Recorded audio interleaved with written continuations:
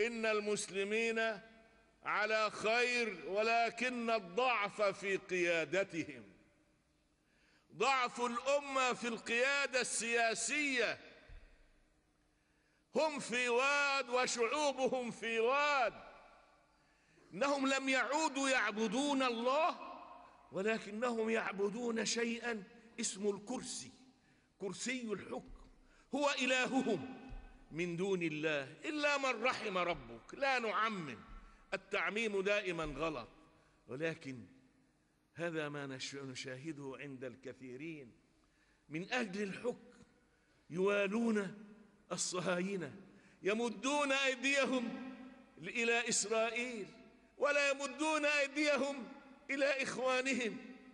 هؤلاء ماذا نقول عنهم؟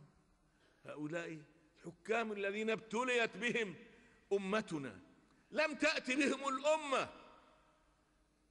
لأن الأمة تزور عليها الانتخابات.